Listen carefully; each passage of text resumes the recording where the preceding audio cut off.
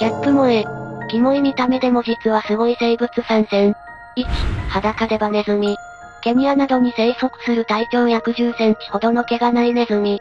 毛がなくしわしわで出っ歯というなかなか不細工な見た目だが、生き物なら本来蓄積するはずの老化細胞を自ら取り除くすごい特性を持っており、長生きで老けにくく癌に耐性のあるチートスキルの持ち主。2、ビュラチレンシス。チリなどの沿岸部に生息する液体輪と呼ばれるホヤの一種。見た目こそ最悪だが中身の赤い部分は非常に栄養価が高く、味も絶品だが食べた翌日の便は真っ赤になるらしい。3、ミミズ。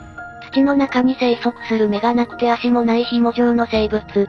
見た目こそ気持ち悪いが実はいいやつであり、土壌改良や動物の飼料さらに漢方薬の原料や栄養価の高い食材として注目されるなど、歴史上最も重要な生物と言われているほどすごい存在。